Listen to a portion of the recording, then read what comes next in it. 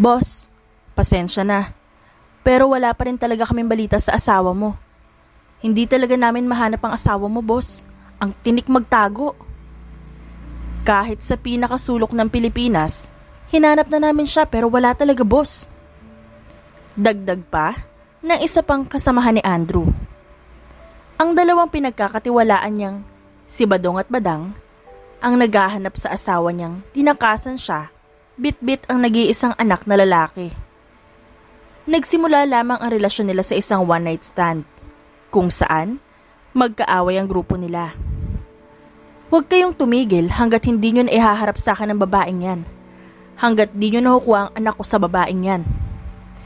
Gigil na sabi ni Andrew bago binato ang hawak na bote ng alak sa pader. Nagkalat man ang bubog sa lapag kaya mabilis itong pinunasan ng dalawang katulong. Paano namin hahanapin na isang taong ayaw magpahanap? Hindi nga namin siya mahanap sa Pilipinas sa ibang bansa pa kaya? Paano na kami makakapag-asawa nito, boss? Kung palagi na lang namin problema ang mga babae mo. Sabi ni Badong na humihit-hit pa ng sigarilyo. Ang unang babae mo, hinanap namin na isang buwan, tapos naagnas na pala dahil natagpuan ng mga kalaban mo. Ang pangalawa naman, nagtatago na sa dulo ng impyerno dahil sa takot na malaman na isinuplong kanya sa pulis. Ang panghuli ay ang asawa mo na limang taon na naming hinahanap. Hindi naman masama ang sumuko, boss. Gusto mo bang isuko ko ang utak mong walang laman? Hawak niya ang anak ko. Hindi ko hahayaan na mapunta sa kanyang anak ko dahil baka mapatay ko siyang hayop siya nang gagalaiting sigaw ni Andrew sa mga tauhan niya. Hindi na nasindak ang dalawa dahil kilalang kilala nila ang lalaki na matapang at nakakatakot lamang sa labas ngunit malambot sa loob. Labas na sa tenga nila ang sinasabi ng lalaki dahil hindi naman ito magawa ang sinasabi. Dala ng stress na nararamdaman ni Andrew, lumabas na siya ng opisina niya at nagsindi ng sigarilyo. Ilang taon na niyang hinahanap ang asawa. Ngunit hindi pa rin niya ito mahanap dahil lamang sa babaeng sumira sa relasyon nila na pinatay niya na ngayon. Kung ako sa'yo, hanapin mo ang asawa mo sa mga lugar na alam mong hindi niya matatagalan. Singit ni Kan. Na naninigarilyo din sa tabi niya. Hindi niya na ito napansin dahil okupado ang kanyang isipan. Hindi mo alam kung gaano katinik ang babaeng to. Kung inaakala mong madali maghanap ng karayom sa buhanginan, edi mauna ka. Sabi naman ni Andrew. Sabi nga nila magtago ka sa mismong kampo ng kaaway mo para hindi ka matagpuan. Limang taon nang nakalipas. Kung gusto lang magpakita ng asawa mo, edi matagal niya nang ginawa dapat. Ang kailangan mong gawing dyan, halughugin ang pinakasulok ng Pinas at ibang bansa. Dahil ang pinili mong babae hindi lang basta babae, kundi makapangyarihan. Nakangisipang dagdag ni Kan bago nito ibinato ang upos ng sigarilyo at saka naglakad pa alis. Aalis na sana si Andrew nang makatanggap siya bigla ng text sa inatasan niya upang hanapin ng asawa. Ang kaninang nakakunot niyang kilay ay nawala nang makita niya ang magandang balita. Ngumisi siya ng napakalaki at saka ngumiti ng malademonyo. Dahil sa wakas, natapos na rin ang paghihintay at paghahanap niya sa isang daga. Sa kabilang panig naman ay si Olivia na naglalako ng isda sa palengke kasama ang kanyang nag-iisang anak na si Andre. Ito ang naging racket ng babae simula nang patulugin niya dahil sa suntok ang kanyang boss na panot. Hinipuan kasi siya nito sa kanyang puwet kaya hindi niya sinasadya na ma-uppercut ang matanda. Bumili na kayo ng tilapia ko, sariwa pa rin to kahit kahapon pa. Kapag bumili kayo nito, tiyak gaganda ang buhay nyo. Sigaw ni Olivia kaya naman ang mga mamimili ay napapatanga na lang sa kanya. Kapag hindi kayo bumili, makikita niyong lahat kung paano ko pasabugin ang buong palengke. Pagbabanta naman niya, kaya napasinghap ang mga nakarinig. Pailing-iling na lumapit sa kanya ang kaibigan na si Rosa, na isa ding tindera ng gulay at prutas. Wala talagang bibili sa'yo kung nagbabanta ka, Olivia. Hindi mo ba alam na may teknik sa pagbebenta? Sabi nito. Lumayas ka sa harap ko, Rosa, at dalhin mo ang talong na hawak mo. Kung kabastusan na naman ang sasabihin mo, tumigil ka na. Sita ni Olivia kay Rosa. Mukha ba akong gagawa na hindi tama? Tuturuan lang naman kita kung paano ang tamang pagtitinda. Hindi na. Bumalik ka na lang sa pwesto mo at huwag mo kong turuan dahil nung tinuruan mo ako ay nagkandaletse-letse ang buhay ko. Sabi ni Olivia, nang maalala ang tulong na ibinigay ng babae. Muntik na kasi silang mamatay ng araw na yon. Sungit mo talaga. Mabuti na lang at gwapo ang anak mo.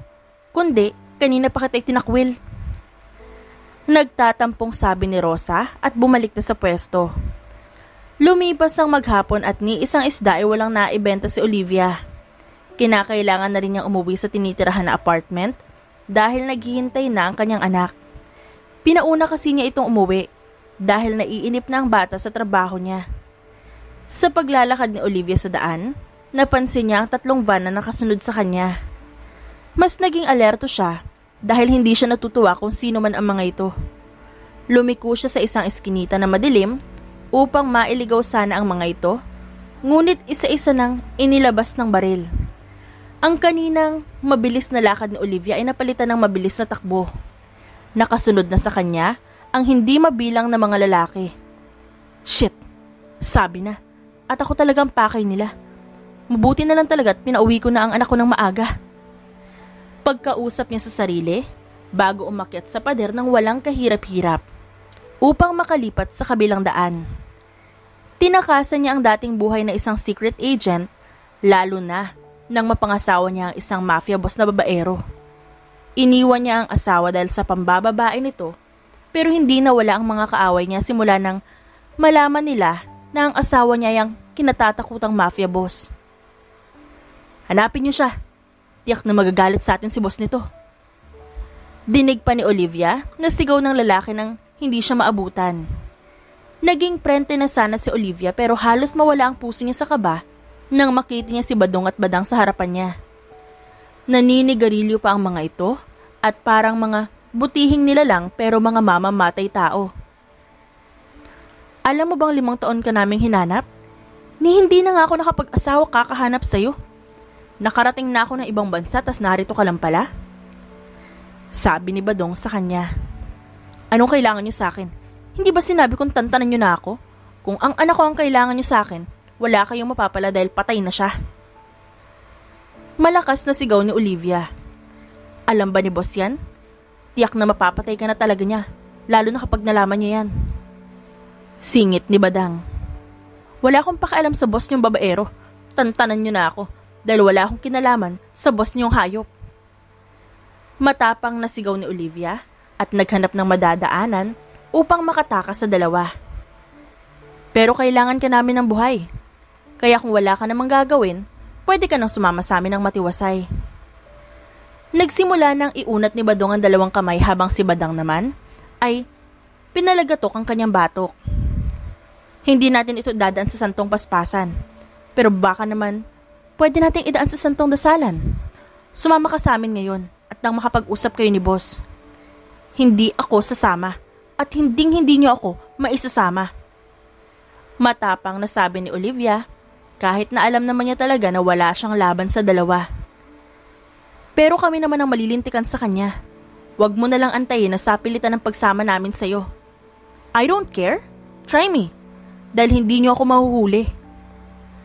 Kumpiyansang sabi ni Olivia at ginawang daan ang kaninang pader na dinaanan. Naghahabulan sila ngayong tatlo at isa lang ang masasabi ng babae. Sobrang bilis ng mga ito. Hanggang sa makorner na siya at wala nang ibang paraan kundi labanan ng mano-mano. Sumama ka na lang sa amin para wala nang masaktan. Hindi ako sasama sa inyo. Matigas pa rin nasabi ni Olivia bago sinugod si Badang ng ilang beses na suntok na iniwasan lamang. Paulit-ulit ang pagbubuno nila, ngunit hindi na lang magawang labanan pabalik ang babae dahil sila naman ang malalagot ngayon. Sumama ka na sa amin nang hindi na dumanak pa ang dugo. Sabi ni Badang pero naging matigas si Olivia. Kung ganon, wag mo sanang mamasamain ang gagawin namin dahil ilang beses ka namin pinakiusapan. Seryosong sabi ni Badong at saka nito inilabas sa isang maliit na syringe. Naalerto lalo si Olivia, kaya naman mabilis siyang lumayo, pero parehong may dala ang mga lalaki. Hanggang sa naturukan si Olivia sa kanyang braso. Gulat na gulat at tila namutla lalo nang maramdaman niya ang unti-unting pagkain sa kanya ng antok. Isa lang ang pumasok sa isipan ni Olivia bago siya tuluyang mawalan ng malay. Ang anak niyang si Andre.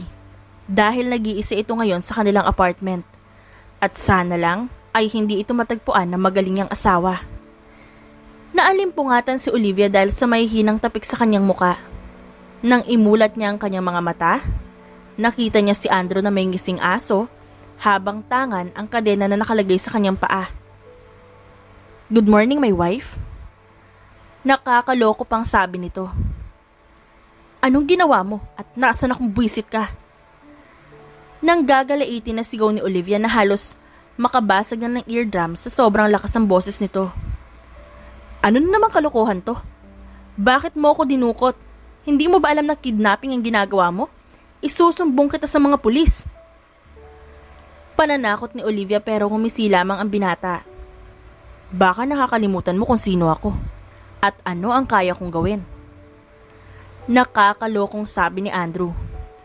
Hindi siya natutuwa lalo na nang makita ang kadena sa isa niyang paa.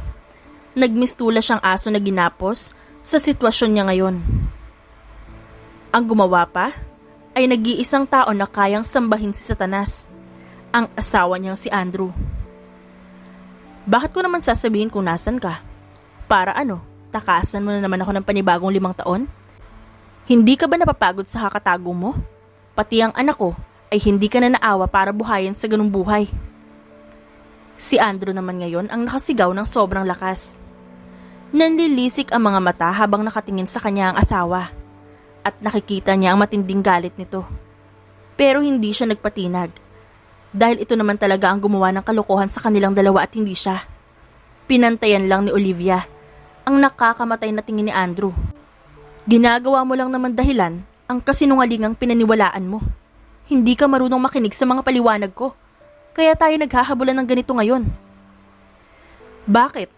Totoo naman ah. Kinalantari mo yung kaibigan ko. Tapos sasabihin mo wala lang yon? Ako pa ba ang lolokohin mo, Andrew? Alam ko naman na kaya mo lang ako pinakasalan dahil nabuntis mo ko. Pero ang kaibigan ko talagang gusto mo at hindi ako. Malakas na sigaw ni Olivia sa mismong pagmumuka ng asawa.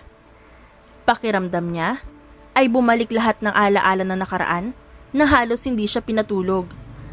Ang isipin na hindi naman talaga siya mahal ng lalaki at napilitan lamang ito dahil sa anak nila ay ang unti-unting pumapatay sa kanya. Napaiwas pa ng tingin si Olivia nang bumagsak ang luha sa mga mata niya nang hindi namamalayan. Nasira na naman ang asawa niya ang tatag na kitagal niyang itinayo. Ilang beses ko ba ipapaliwanag sa iyo na walang nangyari sa amin ng kaibigan mo? Pakana lamang niya ang lahat nang sinabi niya sa iyo ng araw na yon. Pero hindi mo man lang ako magawang paniwalaan. Itinakas mo pa ang anak ko na para bang hindi mo ako minahal. Hindi naman talaga kita minahal. Nabigla din si Olivia sa sinabi. Hindi niya inaasahan na masasabi ito dahil sa galit sa asawa. Pero ang hindi inaasahan ni Olivia ay ang makita ang pagdaan ng sakit sa mga mata ni Andrew. Yeah, I know. Mahinang bulong pa nito. Hindi naman sa ganun. Nabigla ako. Mabilis niyang paliwanag pero nakatayo na si Andrew. Wala itong imik na tumayo at saka lumabas ng silid kung saan siya ikinulong ng asawa. Nakonsensya si Olivia dahil sa sinabi niya sa lalaki. Dahil lamang ito sa bugso ng damdamin niya. Kaya niya iyon nabanggit. Lumuluha na lamang si Olivia ng tahimik hanggang sa mabawasan ang bigat na nararamdaman niya. Hanggang sa makatulog siyang muli dahil sa pagod at pag-iyak. Muling nagising si Olivia na makarinig siya ng langit-ngit ng pagbukas ng pintuan. Isang matandang babae, ang may dala ng tray ng pagkain, ang pumasok. Biglang nakaramdam ng gutom ang babae dahil hindi niya maalala kung anong oras siya huli kumain. Madam, pinagdala kita ng pagkain mo. Kumain ka na para makapagpahinga ka ulit. Magalang pang pagkakasabi ng ginang. Manang, pwede niyo po bang sabihin kung nasan ako? At anong araw at oras na? Ibinaba muna ng ginang ang pagkain niya sa ibabaw ng mesa. Nasa isang isla kaiha, kung saan konti lang ang naninirahan dito. Sa oras naman ng ay gabi na, sa tansya ko alas 10. Sagot ng ginang. Gaano po ito kalayo sa Maynila? Isang bangka ang kailangan mong sakyan palipat sa kabilang isla at doon ang daan para makasampa ka sa Maynila. May bangka po ba dito? Saan po ba nakalagay? Kailangan niyang malaman kung nasan siya upang mapagplanuhan niya kung paano siya tatakas. Tatakas ka ba? Bakit mo kailangang iwasan ng asawa mo, iha? Hindi naman sa pinangungunahan kita. Pero sa buhay mag-asawa, hindi talaga may iwasan ng pag-aaway. Titibay lamang yan dahil sa mga anak. Pangangaral ng ginang. Pero hindi ho ako ang mahal niya manang. Kaya hindi rin po maganda na itago niya ako dito. Isa pa, ang anak ko ho nasa probinsya at bata pa yun. At kahit matalino, hindi ko ho po pwedeng hayaan na lang. Pasensya ka na iha, wala din ako maitutulong sa'yo. Kasi nga, ang asawa mo ang nagbibigay ng kabuhayan sa amin dito. Huwag po kayong humingi ng pasensya. Dahil wala naman po kayong ginagawang masama. Salamat po sa pagkain at mag-ingat po kayo. Mabait na sabi ni Olivia bago makalabas ang ginang sa silid kung nasan siya. Nilanta kanya ang pagkain na dinala ng ginang dahil kailangan niya ng lakas upang makatakas dito. Hindi niya maaaring hayaan ang anak na mag-isa kahit na matalino ito sa murang edad. Namana kasi ng anak ang katalinuhan niya Ngunit sa ugali ay sa ama nitong demonyo. Sinuri niya ang kadena na nasa paa niya at malabo niya itong maalis sa pamamagitan lamang ng tinidor. Hindi tanga ang asawa niya para hindi pag-isipan ng ginawa. Dati siyang agent at alam ito ng lalaki na madali lamang sa kanyang tumakas. Pero ngayon halatang pinag-isipan ito ng lalaki. Kailangan niya makaalis ng isla dahil kailangan niyang mailayong muli ang anak sa ama nito. Tagaktak ang pawis ni Kan habang panayang mura dahil hindi sumasagot si Andrew sa tawag niya. Ilang araw nang nasa kanya ang anak nitong lalaki na nagngangalang Andre. Natagpuan niya ang paslit na pagala-gala dahil hinahanap nito ang ina, kundi lamang pinagbiyak na bunga ang mag-ama, ay hindi niya masisiguro na anak ito ng kaibigan. Pang sampung tawag niya, sinagot na ito ni Andrew. What? Hindi mo ba alam na ang hirap ng signal dito sa isla? Anong kailangan mo? Salubong ng lalaki sa kanya. Kunin mo na ang anak mo sa akin. Buisit ka. Dahil nakakainis kang peste ka. Hindi mo sinabi na isa din palang demonyo ang anak mo. Sigaw ni Kan sa kaibigan. Kinupkop na muna ni Kan ang bata dahil busy ang ama nito na magpaamo ng tigre. Pero hindi niya akalain na napakagaling ng batang lusutan ng high-tech niyang mansyon at takasan ng mga bodyguard na tinalaga niya. What? Anong kalokohan ang sinasabi mo? Hindi ba? Wala naman kami anak. Ang sabi niya namatay daw. Kung hindi makatawang anunsyo mo, wag mo na akong kulitin, buwisit ka. E carbon copy mo ang anak mong hayop ka. Umuwi na lang kayo dito dahil hindi na ako makatagal sa anak mo. Sabay binabaan ng linya ang kaibigan. Humiga si Kan sa sofa dahil sa pagod na pakalmahin ng bata. Dahil kaya nitong sirain ang buong mansyon niya. Hinahanap kasi nito ang ina. Mabuti na lamang at may larawan siya sa asawa ng kaibigan. Kaya kahit papaano ay kumalma ang bata. Muling iminulat ni Kan ang mga mata nang marinigang ingay na nanggagaling sa pintuan. Inilabas nito ang babaeng kinaiinisan at kinamumuhian na tanga ng isang basong gatas. Oh, gatas mo. Alam ko naman na hindi ka makatulog sa gabi, kaya ayan ang gatas mo. Padabog pang nilapag ang baso ng gatas. Sinuri niya ang buong katawan ng bodyguard niya at isa lang ang masasabi ni Kan. Saksakan ng ganda ang babae. Pero nagtagis ang bagang niya nang makita ang uniforme nito na pampulis. Kalabang mortal ng isang gaya niyang mafia boss na nagtatago sa identity na mayor. Mukha ba akong bata sa paningin mo, Bel? Hindi naman, di ba? Hanggang kailan ka manunuot sa kalingkingan ko? Kapag umamin ka na, isa kang mafia boss at gumagawa ka ng illegal na bagay. Pinantayan pa ng babae ang tindi ng tingin niya, kaya mas lalong nagkaroon ng lakas ng loob si Kan upang umisi ng malaki. Kung isa akong mafia boss, anong gagawin mo? Huhulihin kita, Mayor, kahit na marami ka pang natulungang tao. Kriminal ka pa rin at ang krimen ay mananatiling krimen. Ginagawa ko lang ang trabaho ko. Really? Oo. Kaya kung wala na ako may tutulong sa'yo, aalis na ako. Hinatid ko lang talaga ang gatas mo dahil baka hindi ka makatulog. Saka na lumabas ng opisina niya ang babae. Nakatitig si Kan sa gatas na nasa harap niya. Kaya wala sa loob niya itong kinuha at ininom. Wala na rin siyang kuskus balungos na muling humiga at ipinikit ang kanyang mga mata. Dahil na rin sa pagod, dahil sa nangyayari ngayong araw. Tatlong araw na ang nakalipas nang manatili si Olivia sa poder ng kanyang asawa.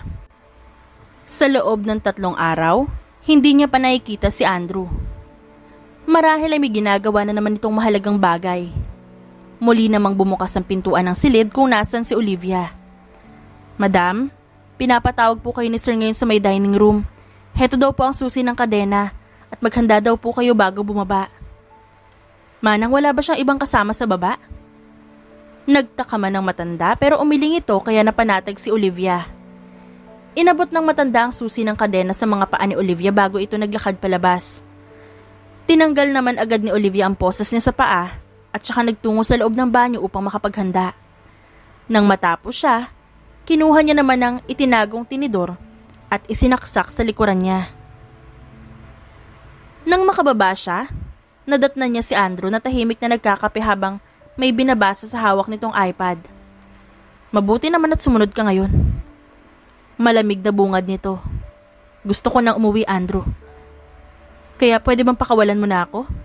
Mas maganda kung ayusin mo na rin ang annulment natin para hindi na tayo magkita pa. Umupo ka muna at saka kumain. Dahil malapit na mag-lunch. Pambabaliwala ni Andrew sa sinabi ni Olivia. Pwede bang tapusin na natin to? Huwag na nating pahirapan ang sarili natin. Hindi mo ako mahal at hindi kita... Eat! Pagputol sa kanya ni Andrew. Gamit ang malamig na boses nito. Hindi. Kailangan nating mag-usap. Hindi mo pwedeng gawin sa akin to. Naikulong kung kailan mo gugustuhin. May sarili akong buhay at hindi mo ako pag-aari. Please lang, Pwede bang kahit ngayon lang tama na? Kahit ngayon lang pwede bang wag muna tayo mag-away?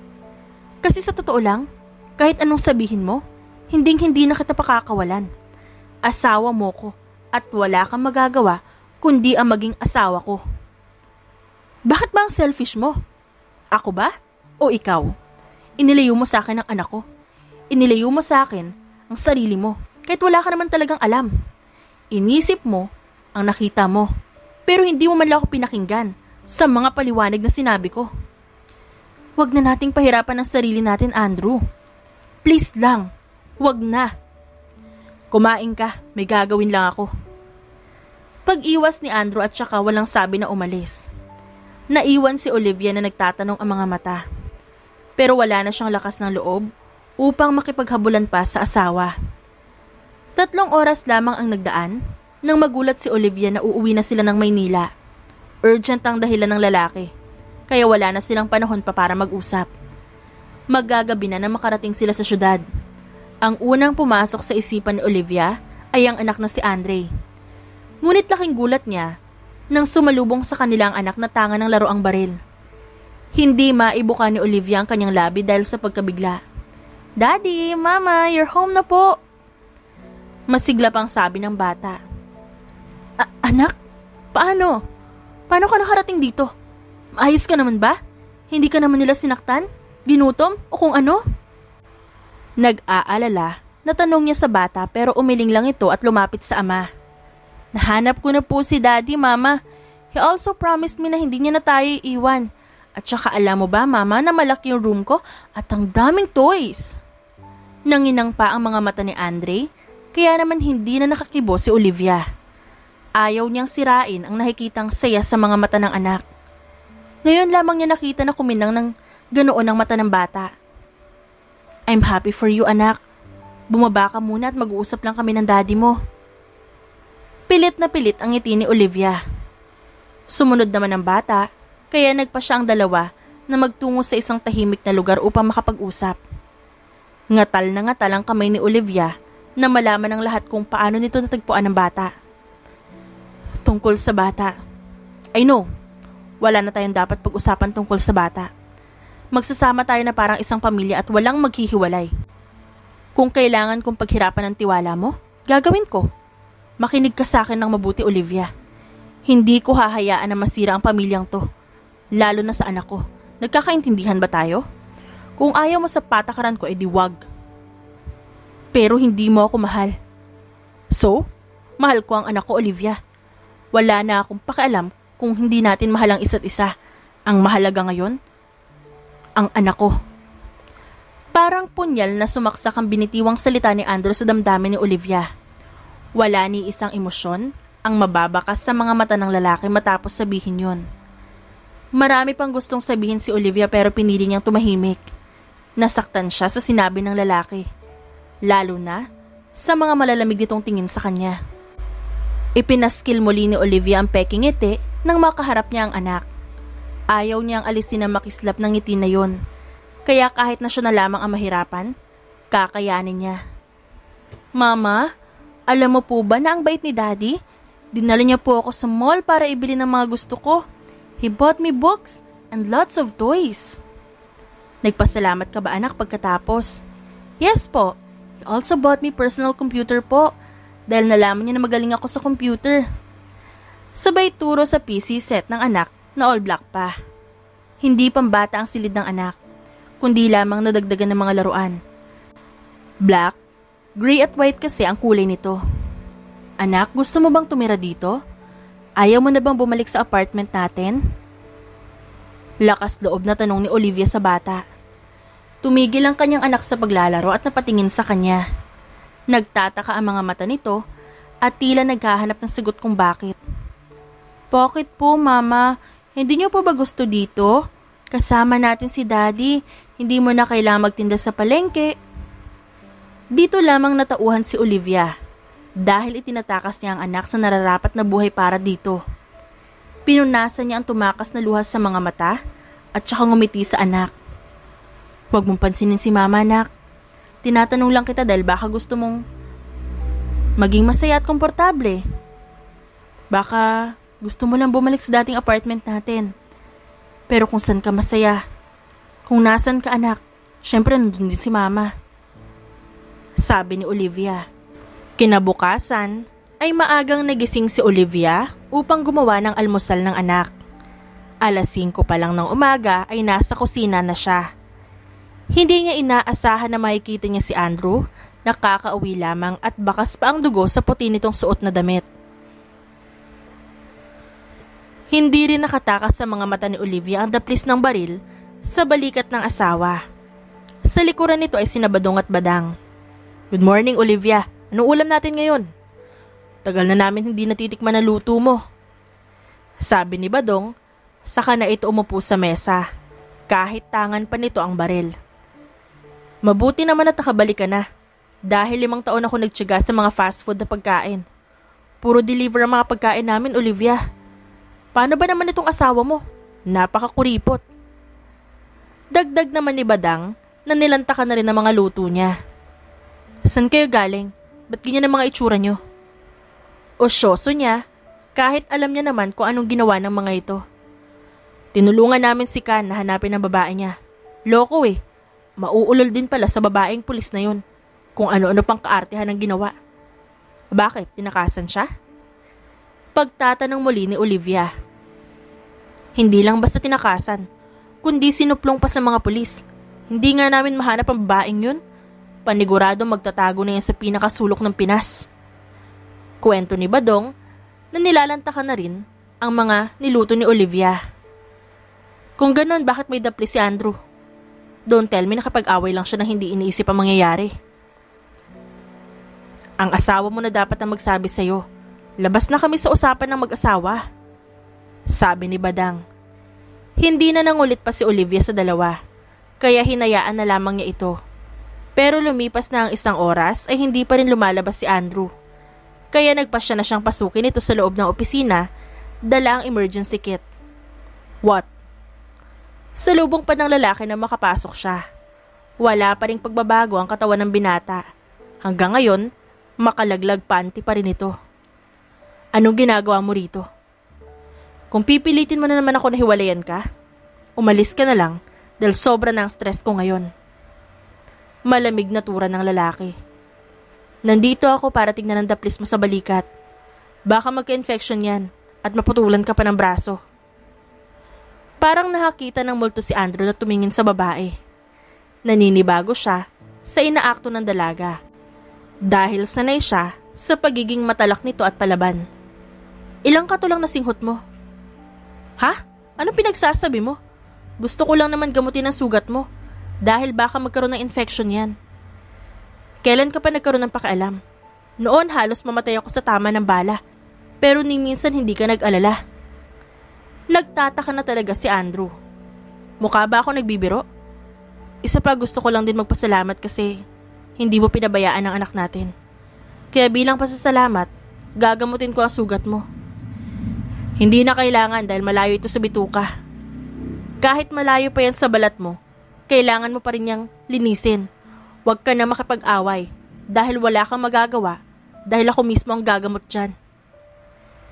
Hindi the place kundi isang tama ng baril. Malalim ito at mukhang hinugot na mula sa loob ang bala. Gusto niyang mapangiwi nang binubuhusan niya na ito ng maraming alkohol pero hindi man lang nagpakita ng kahit anong emosyon ang lalaki. Huwag mo akong tignan ng ganyan, dahil kung nagtataka ka kung anong nararamdaman ko, oo masakit. Tao pa rin ako at nakakaramdam ng sakit. Tumaas ang kilay ni Olivia.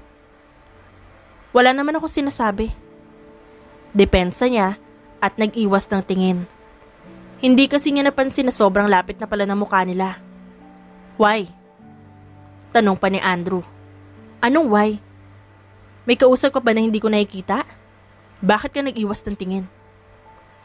At mas lalo siyang tinitigan ng lalaki. Hindi ako sa'yo nakatingin, kundi sa likuran mo. Hindi ko alam na assuming ka pala. Katwira naman ni Olivia, pero halos manlambot na ang tuhod niya. I am talking to you kung bakit mas pinili mong umalis kesa ang kausapin ako at ayusin ko ano man ang meron tayo. Asawa mo ako, Olivia. Hindi man maganda ang simula natin pero asawa mo pa rin ako. Paano ko aayusin kung hindi naman talaga ako ang totoong gusto mo, kundi ang kaibigan ko? So paano? Nagtataka nga ako kung bakit pinakasalan mo ko kung di mo naman ako mahal. Puno ng hinanakit na sambit ni Olivia. Hindi ba sinabi ko naman na bigyan mo ako ng oras? Pero hindi ibig sabihin na dapat mong pangunahan ang lahat. Tapos na rin naman lahat nangyari na. Tapos na. Huwag mo munang babasahin yung sugat mo para mabilis matuyo. Ani Olivia at saka iniligpit ang mga gamit niya ngunit hinila siya ni Andrew. Napaupo siya sa kandungan ng lalaki.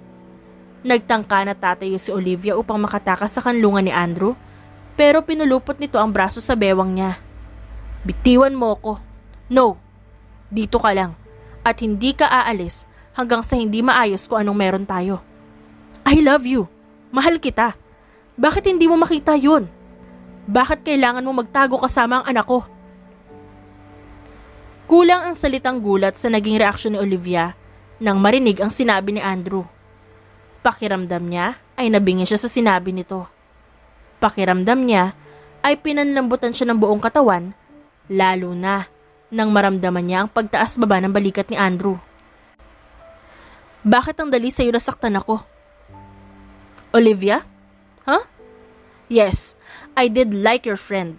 Pero ikaw ang asawa ko at ikaw ang mahal ko. Bakit ang hirap mong paniwalain sa sinasabi ko sa'yo? Hindi ko magagawa ang ibinibintang mo.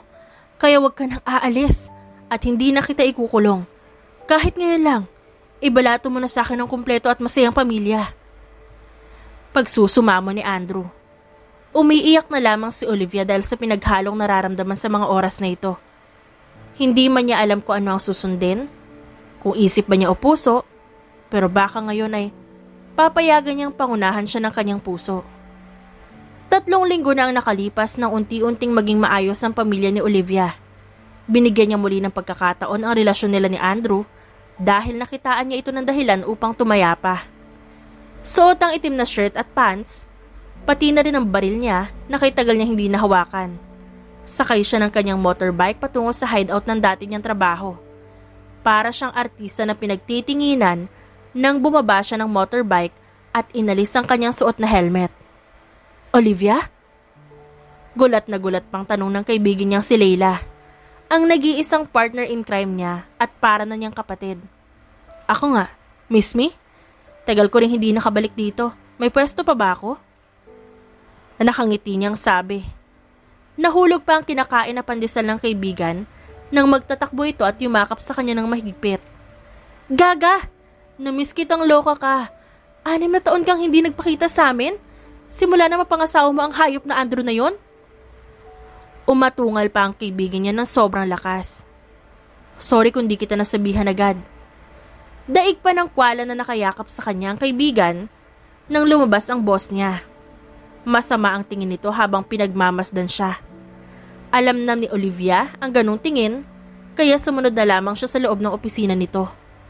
Kinakabahan si Olivia na makaharap ang boss niya.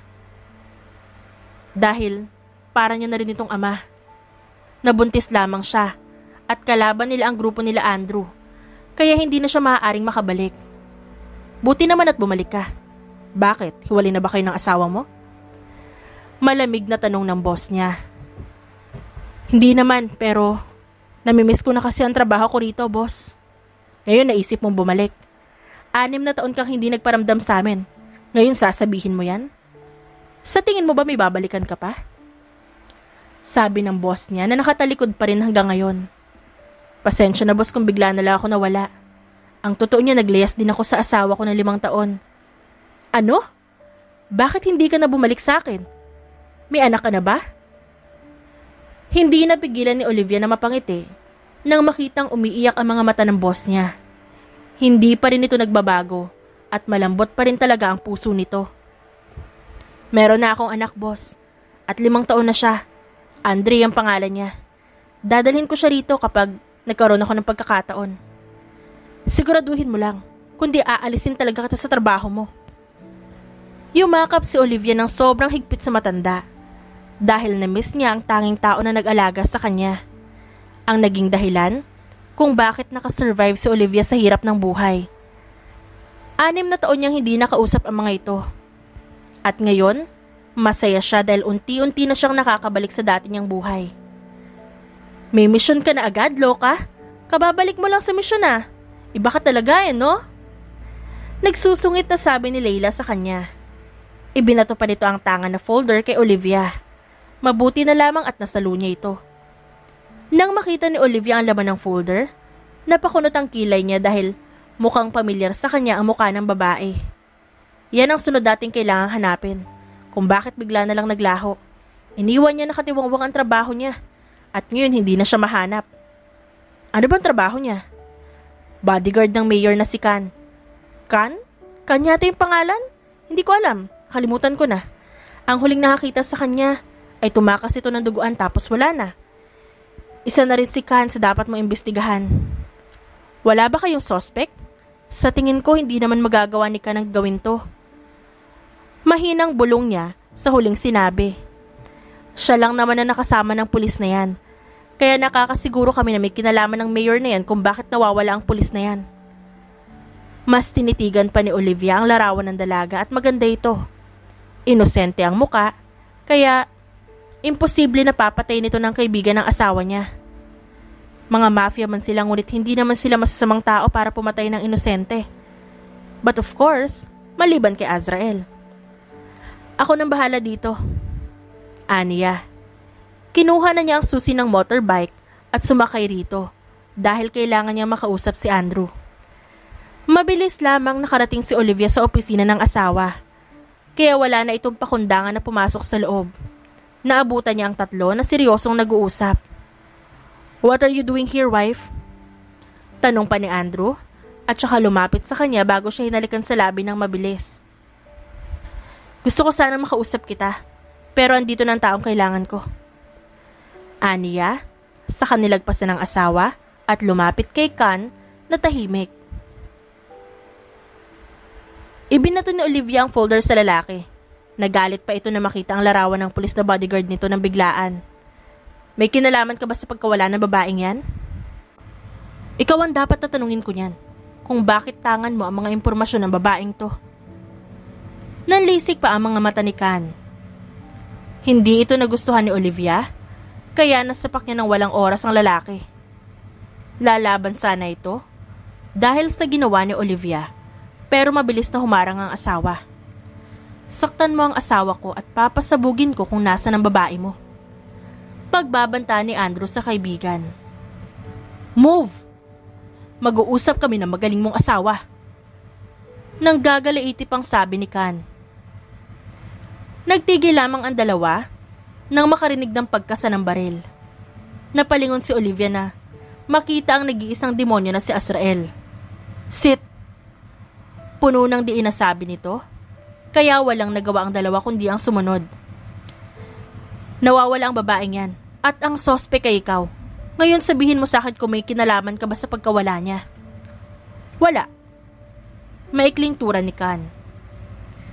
Ayokong ulitin ang tanong ko ah. May kinalaman ka ba o wala? Wala nga. Hindi mo ba nakikita kung bakit kami nag-uusap ngayon dito? Dahil nawawala ang babaeng yon, dalang anak ko. Aroy, mga mafia boss na tinaguan ng mga anak pagpaparinig ni Badang na nasa gilid lang nila. Natapos ang usapan nilang lahat kaya naman napagpasyahan na ni Andrew at Olivia na umuwi ng bahay. Sakay sila sa sasakyan ni Andrew dahil hindi pumayag ang lalaki dahil gabi na at delikado na raw sa daan. Tahimik nilang binaybay ang madilim na lugar nang mapansin ni Olivia ang dalawang sasakyan na nakasunod sa kanila. Alam mo na siguro kung ano nangyayari ngayon sa may likuran natin, di ba? May dalawang sasakyan na nakasunod sa atin. Sabi ni Olivia sa asawa. I know, huwag ka mag-alala. Hindi naman ito ang unang beses na may sumunod sa atin. Sabi naman ni Andrew at tinapakan ng gas ng sasakyan. Bumilis ang pagpapatakbo nila at ganoon din ang mga sumusunod sa kanila. Tama nga ang hula ni Olivia. Nakalaban ng mga ito dahil pinaputokan na sila ng baril. Pero tila wala lamang ito sa dalawa dahil nakikipaghabulan sila kay kamatayan at sanay sila dun. Kaya mo bang magmaneho? Kasi kung hindi ako na lang at umalis ka na dyan. Sabi ni Olivia pagkatapos ni siya ng asawa. Shut up! Mag-seatbelt ka na lang dahil hindi ko hahayaan na dampian ka ng mga hayop na yan. Gigil na sabi ni Andrew sa kabinilisan lalo ang pagmamaneho. Nagkibit balikat lamang si Olivia at saka umupo ng prente habang ang asawa niya ay nakikipaghabulan sa mga ito. Nasa gitna pa sila ng kung saang mapupuno at madilim na lugar. Rinig niya ang ilang beses na pagmumura ng asawa dahil sa pagkabasag ng mga bintana sa likuran nila. Hindi mo talaga kailangan ng tulong ko? Sumupil pa ang mapaglarong ngiti ni Olivia. Fine, I need your help now. Labag talaga sa loob ni Andrew ang sinabi sa kanya kaya lalong natawa si Olivia. Ramdam niya ang pagkayamot ng lalaki pero wala itong magagawa. Kesa naman matay silang dalawa dahil sa pride nila. Hinugot ni Olivia ang baril na nakatago sa tagiliran nito at kinasa. Kinindatan pa niya ang asawa nang bumaling ng tingin sa kanya. Binuksan niya ang bintana ng sasakyan at inilabas ang kalahati ng katawan. Sa isang putok lamang na pinakawalan ni Olivia, Sumemplang ang sumusunod na sasakyan sa kanila at saka ito bumangga sa puno. Pero hindi ang isa pang sasakyan na humahabol at panay pa din ang pagpapaputok sa kanila. Gosh! Ayusin mo nga yung pagmamaneho mo. Munti ka na ako matamaan sa ginagawa mo. Singhal ni Olivia sa asawa dahil bigla itong lumiko at muntik na siyang mahulog. Pumasok ka na sa loob at hayaan mo mga tauhan ko ang pumatay sa mga buwisit na yan. Mauuna pa tayong mamatay kung aantayin natin si Badang at Badong. Huwag ka nang makulit. Ikaw ang huwag makulit dahil mamamatay tayo sa ginagawa mo. Sabi ni Olivia at muling kinasang baril. Ngunit di hamak na magaling ang pagmamaneho ng sasakyan dahil na rin sa nakailag ito. Bagalan mo ng konti ang pagmamaneho mo dahil hindi ko matamaan ang mga hayop na to. Gigil na utos ni Olivia dahil palaging naiilaga ng sasakyan ang pagbaril niya. Pumasok ka na rito sa loob. Sundin mo na lang kung anong gusto ko kung ayaw mong pareho tayo matodas ngayon din. Olivia! Andrew! Hindi nagpatinag si Olivia kahit na masama ang tingin sa kanya ng asawa. Kalaunay, sinunod pa rin ito hanggang sa humina ang pagpapatakbo. Ginawa itong daan upang mabaril ng tuluyan ang sasakyan na nakasunod sa kanila. Tumama ito sa railings ng daan at saka bumaliktad at sumabog. Nagyayabang ng prenting umupo si Olivia matapos ang ginawa. Umismid naman si Andrew dahil sa pagyayabang ng asawa. Ngunit sa loob nito ay proud siya. Hindi niya kasi niya kailangan pang protektahan ng asawa dahil kaya nitong protektahan ang sarili nito sa mga kaaway at pati na rin sa kanya. Walang kibuan silang umuwi ng mansyon. Pero yun na palang simula ng dilubyo sa buhay mag-asawa nila. Dahil nang makapasok sila sa loob ng mansyon, isang babaeng nakasuot ng simpleng bestida ang umiiyak. Isang batang babae naman ang tumakbo patungo kay Andrew at yumakap sa kanya. At ang mas nakakakimbal pa, ay ang tawagin ng babae ang asawa niya na, Daddy? Hindi makakalimutan ni Olivia ang mukha ng babaeng nasa harapan. Ang babaeng ito ang sumira sa relasyon nila ng mag-asawa. Ang bawat patak ng luha ng babaeng sumira sa kanila. Emerald, ano ginagawa mo dito? Takang tanong ni Andrew at saka inalis ang yakap ng batang babae sa paanan. Hindi ko na kayang itago ang katotohanan sa anak ko, Andrew. Kailangan ka ng anak natin. Kailangan ka ni Ana. What? Bumaling pa ng tingin si Emerald kay Olivia. Naroon ang konsensya sa mga mata, ngunit wala nang makita si Olivia na simpatya. Naroon ang galit at inggit sa mga mata ng babaeng itinuturing niyang kaibigan. I'm sorry, Olivia. Hindi ko sinasadya na mahalin ang asawa mo. Hindi ko sinasadya. Hagulhol pa nito na mas lalong nagpabago sa nararamdaman ni Olivia. Si Emerald ang naging kaibigan niya noon. Ang babaeng itinuturing niyang kapatid. At ang totoong mahal ni Andrew. Ngunit asawa na niya ang lalaki kaya hindi niya hahayaan na magkasira silang lahat dahil lamang dito. Naglakad si Olivia patungo sa asawa. Nabakas na bakas ang pagtataka at takot. Siniil niya ng halik si Andrew sa harapan ni Emerald. It's okay. Paniniwalaan kita kahit anong mangyari. Hindi ko nahahayaan ngayon na takasan ka na hindi nalalaman ng totoo. Mahinang bulong ni Olivia kay Andrew na nagpagaan sa damdamin ng asawa. Thank you. Tahimik lamang silang tatlo habang magkakaharap. Nagpa siya sila na mag-usap tungkol sa issue na to. Walang makita na hawig ni Andrew ang bata kahit na konti. Unlike sa anak nila, na carbon copy niya. Paano at kailan nangyari? Tanong ni Olivia sa babae. May nangyari sa amin ni Andrew nung gabing umalis ka. Nang malaman mo ang tungkol sa amin ni Andrew. Hindi naman namin sinasadya ang araw na yon. What the hell? Wala akong matandaan na may nangyari sa atin dalawa. Kailan pa? Paano? Lasing man ako pero alam ko ang ginagawa ko. Paano mo malalaman kung lasing ka ng gabing yon? Hindi mo ba paniniwalaan ang DNA test na yan? Anak mo si Ana Andrew. Alam mong ikaw lang ang lalaking nauna sa akin. Kaya paano ako mabubuntis kung ikaw ang gumawa? Hindi. Walang nangyari sa atin. I swear, my love. Maniwala ka sa akin na walang nangyari sa amin ng babaeng yan. Alam mo naman na di ko magagawa yun. Hinawakan ni Olivia ang kamay ng asawa upang iparamdam dito na hindi ito nag-iisa. Gusto niyang iparamdam na sa pagkakataong ito, nanaisin niyang alamin ang totoo kaysa takasan na naman. Naniniwala ako sa'yo.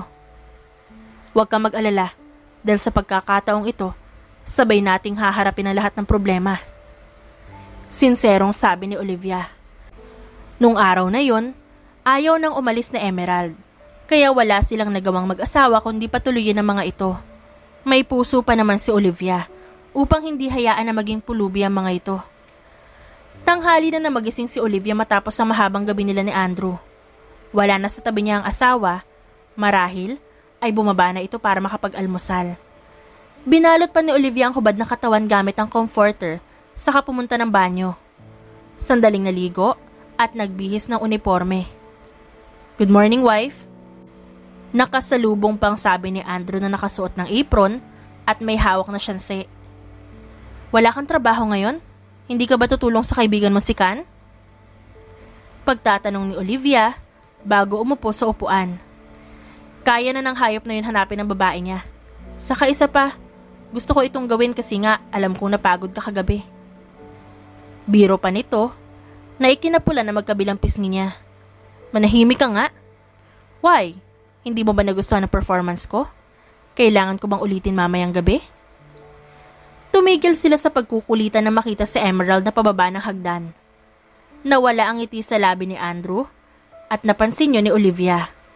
Hindi din niya nagustuhan ang suot na babae dahil nagmistulang pamamahay ng babae ang mansyon. Kanina pa ba kayo rito? Pasensya na kung ngayon lang ako bumangon. Masama kasi ang pakiramdam ko. Sabi ng babae kahit hindi naman ito tinatanong. Walang nagtatanong. Mahinang bulong pa ni Andrew. Hindi din tinubuan ng hiya ang babae nang makita ang almusal sa ibabaw ng mesa. Nagreklamo ito na para bang ayaw nito ang nakahandang almusal. Ito lang ba ang almusal? Wala bang bacon? Eggs and bread? Hindi kasi ako sanay sa ganitong pagkain.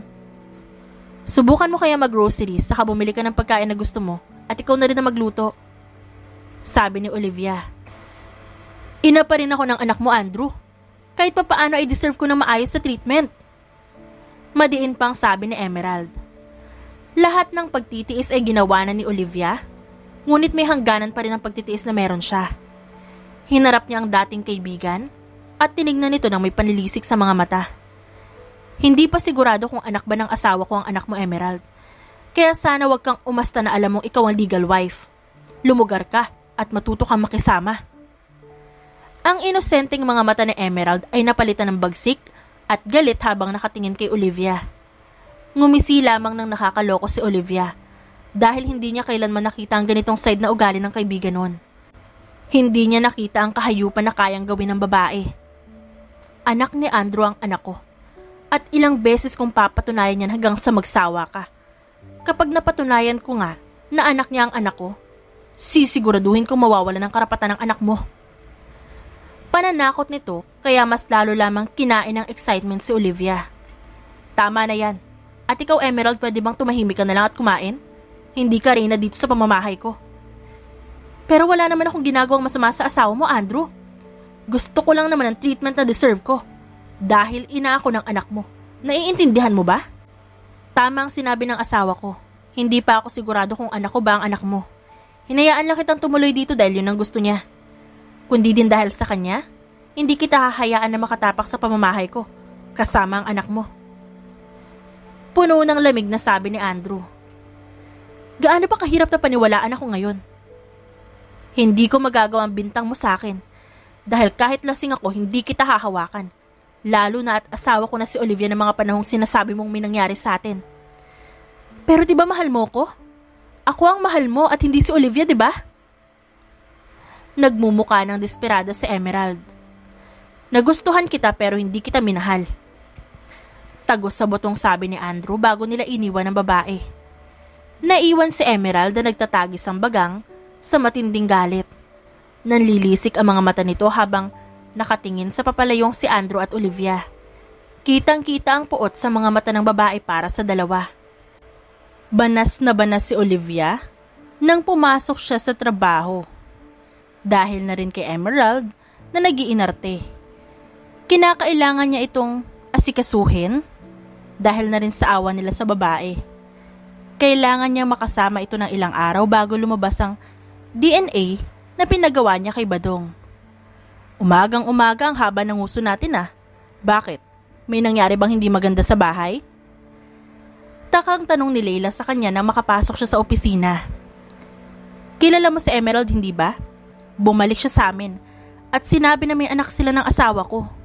Hindi ko naman mapaalis sa bahay dahil naaawa ako sa kalagayan niya.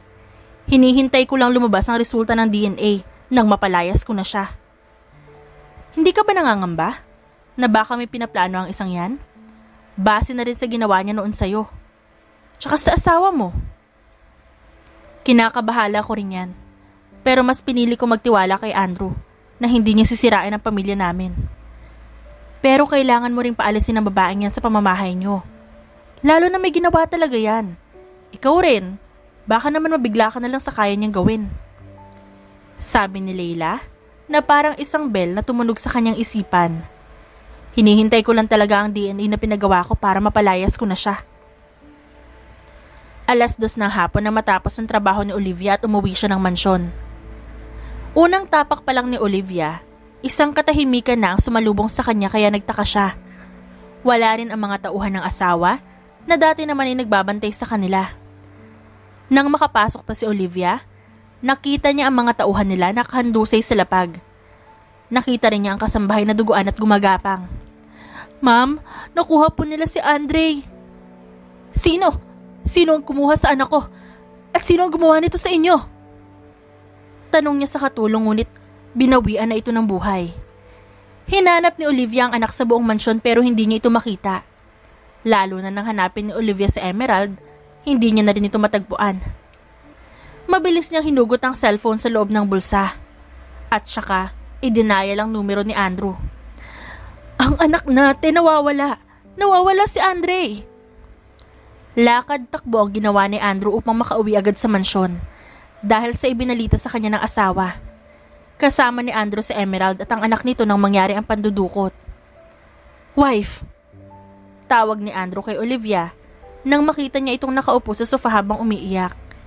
Nagulat din si Andrew sa mga sugatan at ilang mga patay na tauhan. Paano nga ba nangyari ang pangluloob kung matalino ang mga tauhan niya at hindi basta-basta napapasok ang teritoryo niya? Andrew, ang anak natin! Ang anak natin! Ano nangyari? Ano? Hindi ko alam. Pag uwi ko nadatnan ko ng ganito. Wala na ang anak natin at ang lahat ng CCTV sa mansyon ay sira. Hindi lang tayo nilooban, kundi planado ang lahat. Kumalma ka muna, kumalma ka muna. Hindi ko hahayaan na kunin sa atin ang anak natin dahil mapapatay ko sila, lalo na kung sino man ang gumawa nito. Tatlong araw na ang lumipas, pero ni Anino ng anak ay hindi pa rin nahahanap ng mga tauhan ni Andrew. Tumulong na rin ang kaibigan ng asawa ni Olivia upang mapabilis ang paghahanap. Kumalma ka lang dahil mahanap din ang anak mo. Sabi ng babaeng asawa ni Azrael. Napakabait ng babae ngunit hindi ang asawa nito. Paano kung hindi? Hindi ko alam kung pinapakain ba nila ang anak ko sa mga oras na ito. Kung minamaltrato ba siya o ano. Magtiwala ka sa mga asawa natin at kaya nilang hanapin ang anak mo, lalo na si Azzy. Magtiwala ka sa kanya. Pagpapagaan naman sa loob niya ni Rosalinda. Yung babae na nakita ko sa may dining area nyo, hindi ko gusto ang isisalabi niya. Muling pagsasalita ni Rosalinda, kaya naman napatingin sa kanya ang dalawang babae. Sino tinutukoy mo? Takang tanong naman ni Zinaya na siyang asawa ni Azrael. Babae sa may kusina nila? Ang sama ng pakiramdam ko sa babaeng yan. Si Emerald ang kaibigan ko na tinraidor ako at sinasabi na anak ng asawa ko ang anak niya. Hindi na nagulat ang dalawang babae dahil maski sila ay may mga kwentong kawangi sa kwento ng babae. Hindi na sila magtataka kung ilang mga babae pa ang handang maging ina ng mga anak ng asawa nila. Sa tingin ko lang ay may kinalaman ng babaeng yan. Kung tama man ang kutob mo ngayon, ngayon pa lang, papatayin ko ng babaeng yan.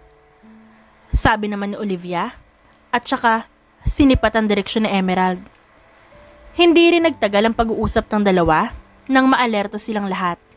Nagkatinginan pa ang tatlong babae nang makaramdam na kakaiba sa paligid. Nahugot mabilis ni Rosalinda, Zinaya at Olivia ang baril nila at alertong tumayo. Sa isang iglap, pinaulanan sila ng bala. Kaya mabilis silang nagtago. Sabi ko sa iyo eh, may kinalaman na babaeng yan. Malakas sa sigaw ni Rosalinda. Hulaan mo nga kung may babae ba ang asawa ko? Sigaw naman ni Zinaya na nagtatago sa likod ng pader. Tigilan niyo na mga kalokohan yung lahat. Hindi naman gumalaw si Emerald sa pwesto nito at pinanood lang ang tatlo na magtago. Sinigurado niyang malinis ang magiging trabaho niya ngayon. At ito ay alisin sa landas niya si Olivia at ang anak nito. Ngunit hindi ito nilubayan ng dalawang babae, kaya inadamay niya na ang mga ito. Sa tingin niyo ba makakalabas pa kayo ng buhay ngayong gabi? Kung ganon, ikaw nga may pakana ng pagkawala ng anak ko. Ako? Hindi ah. Tinulungan ko lang ang kalaban ng asawa mo. Ikaw lang ang gusto ko mawala para ako na ang gustuhin ni Andrew. Kaso, ang kapal kasi ng mukha mo para magbalik pa rito. Ang kapal din ng mukha mo. Gigil at nagtatagis ang bagang ni Olivia nang sabihin nito. Ako dapat ang magsabi niyan sa'yo. Dahil sa kalandian mo, kaya ka nabuntis ni Andrew. Alam mo na ako ang gusto niya pero nagpakamot ka pa rin. Alam mo na akong gusto niya pero nagpabuntis ka pa rin. Hindi ko naman ginusto ang nangyari dahil ikaw may kasalanan kung bakit ako nalasing. Kaya dapat sisihin mo yung sarili mo. Tura naman ni Olivia. Kahit anong sabihin mo ngayon, kailangan niyo mamatay lahat. Hindi ko hahayaan na magdusa kami ng anak ko ng dahil lamang sa'yo.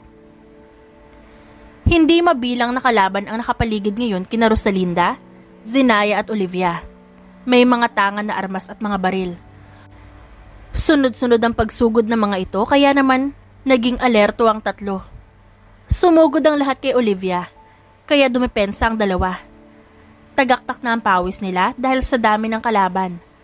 May mga daplis na rin si Zinaya sa braso dala ng matatalim na armas na hawak ng mga ito. Habang si Rosalinda ay nakahawak na rin sa tiyan niya. Buntis ka? Hindi makapaniwalang tanong ni Zinaya. Ngumiti lamang ng tipid si Rosalinda. Bakit hindi mo sinabi? Ba't di mo agad sinabi sa amin? Natatakot na tanong ni Olivia. Eh hindi naman natin ginusto ang araw na to Olivia. Isa pa makapit ang baby ko. Kaya hindi basta-basta yan lalabas. Pagpapagaan ni Rosalinda sa sitwasyon, pero mas lalo lamang itong lumala. Sumuko na kayo dahil hindi ko naman kayo bubuhayin sabi ni Emerald.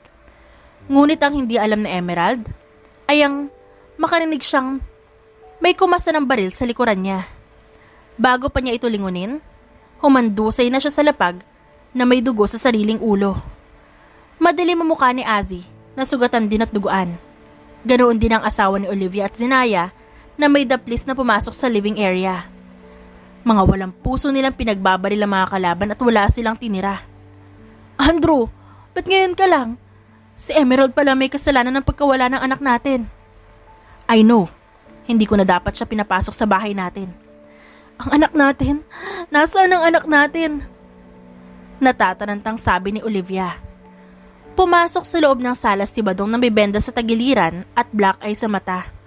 Sa likuran nito si Andre, na ni isa ay walang galos. Mama! Malakas na sigaw ng bata at saka lumapit sa babae.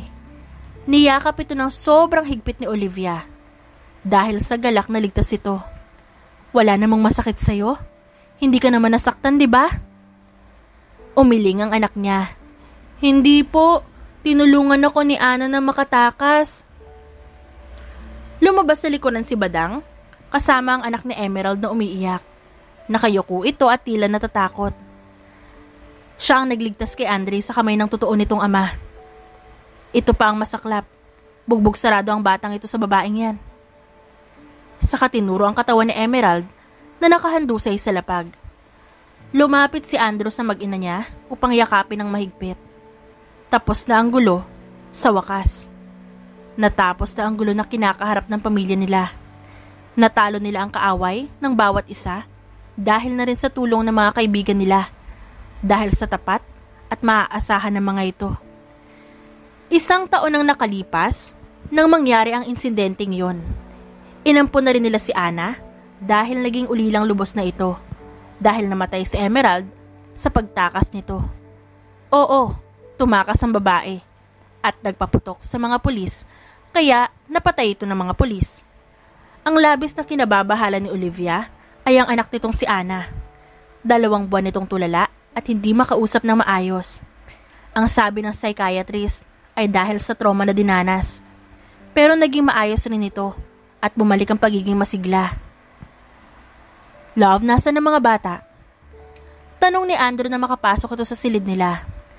Pinulupot pa nito ang braso sa kanyang umbok ng tiyan dahil limang buwan na siyang buntis. Nasa garden sila at naglalaro. Bakit malungkot ka? Hindi mo ba nagustuhan ang manggang binili ko? May gusto ka bang kainin? Sabihin mo lang sa akin. Umiling si Olivia at pinirmi ang tingin sa labas ng veranda. Kitang-kita niya ang dalawang bata na naghahabulan. Sa tingin mo ba hindi nagalit sa atin si Ana?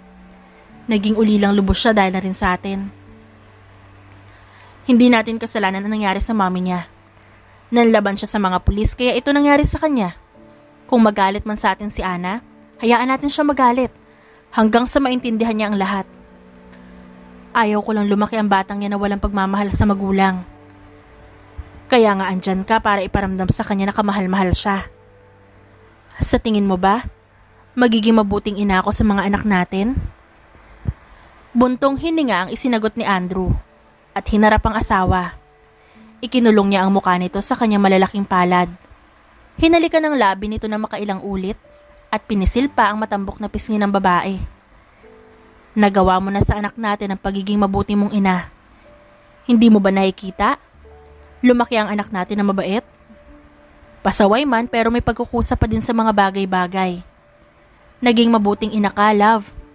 Hindi ako magsasawang mahalin at piliin ka palagi. Nakangiting sabi ni Andrew, bago halikan muli ang asawa sa labi. Nagbalik lamang sila sa wisyo ng marinig ang hagik-gikan ng mga anak na naghahabulan sa hardin. Magkayakap nilang pinanood ang dalawang bata. At ini-imagine na apat na buwan mula ngayon, may isa ulit na bulilit na mag-iingay sa napakalaki nilang mansyon. Hindi na sila makapaghintay na makita ang mga anak nila na lumaki at magkaroon ng sariling pamilya. Gusto ko nang mahawakan ng anak natin tapos tuturuan ko siya kung paano bumaril sa mga lalaking lalapit sa kanya. Biro ni Andrew, kaya napatawa na lamang ng malakas si Olivia. Dahil sa kalokohan ng kanyang asawa. Hindi pa man ipinapanganak ang anak nila, alam na ni Olivia na magiging bantay sarado ang anak nila sa ama nito. Dahil takot ang asawa sa sarili nitong multo. The end. At dyan nagtatapos ang ating kwentong pinamagatang The Mafia Boss Hidden Son. Written by Lady Precious. Dearest friends and avid listeners, don't forget to like our videos and subscribe to our channel for more wonderful stories. Mula sa aming main channel, Randall Tagalog Love Stories, and for our second channel, Miss R Stories, lubos po naming pinasasalamatan ang inyong suporta at pagtangkilik sa aming mga likang istorya. Ingat po kayong lahat and have a good day everyone. Paalam!